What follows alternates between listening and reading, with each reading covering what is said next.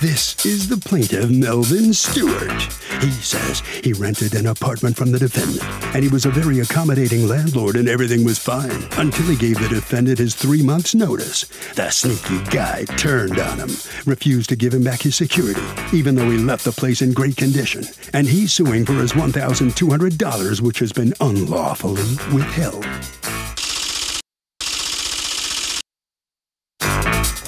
This is the defendant, Bill Yang. He says the plaintiff said he was moving out, but then kept telling him his new place wasn't ready yet, and he delayed the next tenant he had lined up by months. He had to give the new tenant a rent rebate because she was getting mad. He's the one who lost money, and he has every right to use the plaintiff's security to recoup the loss. He's accused of holding on tight.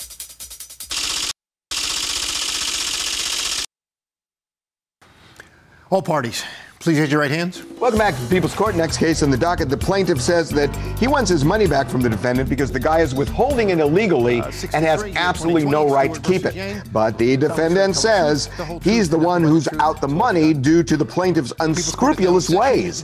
It's the case of I want my jack, man. Thank you, Douglas. You're welcome. All right, Mr. Stewart, you used to rent an apartment from Mr. Yang, correct? That is correct. All right, and you're suing today because Mr. Yang has kept your security deposit. Tell me what happened towards the end of your rental. There were some complications I'd like to discuss. I had um, listed for a senior citizens apartment. And when the due date became available, unfortunately, the apartment was not available. So I let Mr. Yang know that there was indeed a complication. And I, I had originally planned to move out in December. And I asked, I told him that I would like to stay until January if it was indeed possible. And um, I paid the rent for January, and I thought that was all at an end. However, uh, when I reached back to him months later to uh, request my deposit, he said that I had inconvenienced him. And as a result of that, his new tenants, he had to put in, up in an apartment, I don't know, on a hotel or something like that. But I just felt that was not my responsibility. All he had to do was say yes or no, and I would have gotten out. Right. Mr. Yang, let me hear from you. Yes, uh, Melvin Stewart is correct. He's moving out uh, at the end of November. So uh, he didn't say End of about moving out. At the, right. Even though the letter, the move out letter say December the 1st. So assuming that's the end of the November. And, but he didn't say he's going to move out at the uh, January. He just kept saying that the, the apartment is being delayed. We need more, more days to stay. So I said, okay, no problem. The, my new tenant is already accommodated also. For, for the whole December, my new t- tenant didn't complain. Okay, And let me ask you a question. most- So you had a new tenant lined up for December. Yes, And did you have a lease with that new tenant or was it a month to month? at least two years lease. Now, when he kept delaying his departure, you kept telling the new tenant, oh, we can't start yet, we can't start yet. And at some point, according to you, the new tenant got angry. And tell me what happened with the new tenant. Yeah, at the end of the almost end of the December, the new tenant sent me uh, the message that uh, if she move in at, in the month of January, every day delayed, uh, I need to uh, uh, compensate her uh, about thirty-three dollars per day. There's Okay, uh, also compensate related message. her. Hold on one second. Was she paying? She, but she didn't pay rent in January. She wanted you to pay the rent amount to her, No, even though just she wasn't uh, for- paying Yeah, yeah, that's as uh, like a for penalty because it's being delayed. Yeah. Okay. Yeah, All right. So let me ask you a question, Mr. Stewart. Is it accurate that you were supposed to leave December 1st, then it was later in December, then all of a sudden it became like it, it did evolve a few times. It wasn't just one delay once, it was several delays, wasn't it? No, it was not several delays, Your Honor. I, my lease was from January 1st nine, uh, of 19 until December 31st. Of That's right, December- but you had negotiated to leave at the end of November. Jan- no, you had no, no, no. negotiated. I- Wait, wait, wait. You negotiated with your landlords to let you out a month early, correct? no, Because you thought the place would be ready. no, that's not so. Okay. I had advised him that my the apartment would not be ready, and I wanted to know if I would be able to stay in January. And he said yes. Okay, I now I see texts from him to the just a 2nd mm-hmm. Then why would he turn around and rent it out in December? I have no idea. If you were still going to be there.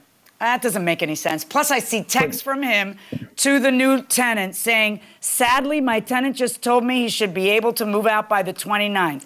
And she responds, Okay, that's progress. So, no, she wasn't supposed to start renting from January. She was supposed to start renting from December. Thank you for letting me know. Then he texts her in December 27. Sadly, my tenant told me that he went to the management office today to inquire about the move in intentions for next Monday, but was told that due to the holidays, the apartment remodeling is not fully furnished. He needs to wait till after New Year to inquire about the possible move in date. I am very sorry for keeping you waiting. And then he offers to her, I'll deduct 100 from your first month's rent to compensate you. Hopefully, my current tenant is able to move out before the end of January. He will let me know early next month. And then she responds on January 1st Good morning and Happy New Year. Thank you for telling me. As you know, I was really looking forward to moving in before the year was over.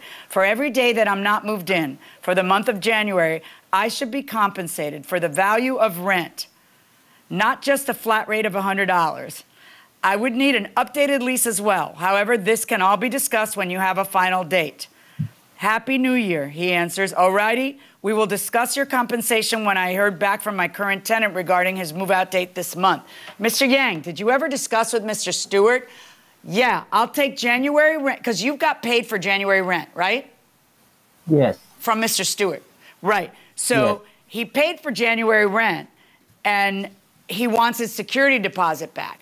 If you don't want to pay it back because Miss Kenya decides, you know what?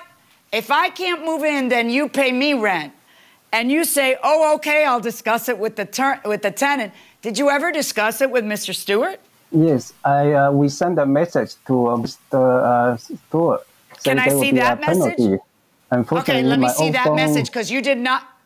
Well, how did you get these texts, but not the one that matters to prove your case? I need that one. The uh, one where he says, okay, there's a penalty and agrees to it. That's the one I need because that know. one is the one that has you winning your defense.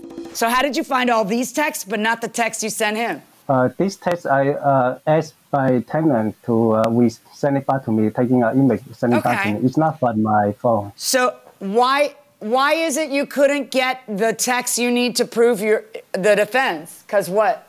Yeah, because uh, my cell phone, when my uh, my daughter was playing it, he she dropped off to the toilet, and the phone is damaged. I cannot turn it on. Okay, but you could always go to the phone company and get your text, the transcript of your text. Mr. Stewart, did you agree to pay a penalty for staying there in January? Absolutely not. Right. How are you going to prove that now? Furthermore, if you're laying claim to his security deposit for a penalty, New York law requires now that you give the tenant an explanation within 14 days of his departure, asked an itemized list of why you're keeping the, the security deposit. Did you do that? Uh, no, I do not know. Yeah, you got to know that. You need to look into that because you have to do that with every tenant you have from now on. Okay? So, no. for those very mighty reasons that um, there is no evidence that you can show me that Mr. Stewart agreed to paying double rent in January. And also for the reason that you did not send the 14 uh, the notice within 14 days about laying claim to the security bo- deposit, I have to order you to return Mr. Stewart's $1,200. Verdict for the plaintiff, $1,200. Good luck, folks. Yep, thank you. Thank you. So the plaintiff is going to get his money back, his security, the $1,200 back. Mr. Yang, you heard the judge. You missed two key things legal issues that caused you to lose. You understand? Yes. All right. Well, as a landlord, you you really got to take a lot of lot of pay a lot of attention to that. It could happen again in the future if you don't do it. Mr. Stewart, I guess you're happy that you filed the lawsuit. Otherwise, you might not be getting this, right? Absolutely. But you know, I want to also say that Mr. Yang is a a wonderful man, and I I really didn't want to go this length. He was an excellent landlord, and um, it just was very troubling when I got that response from him that he would not be returning it. But, you know, all's well that ends well. All's well that ends well. That's a good way to put it.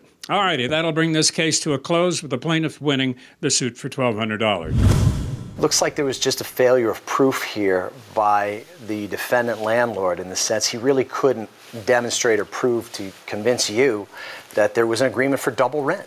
Right, because that's in essence what it is.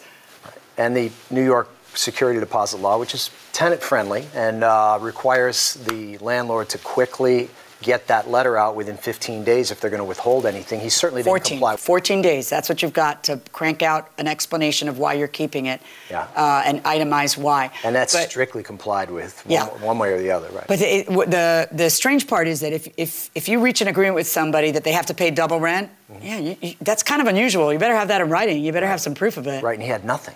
Right, so I think one, you get one day in court, and you got to bring the proof. You either have the goods or you don't. And in this case, he just didn't have it. He didn't have an email, he didn't have a letter, he didn't have notes, he didn't have a voice recording, he had nothing to really back it up.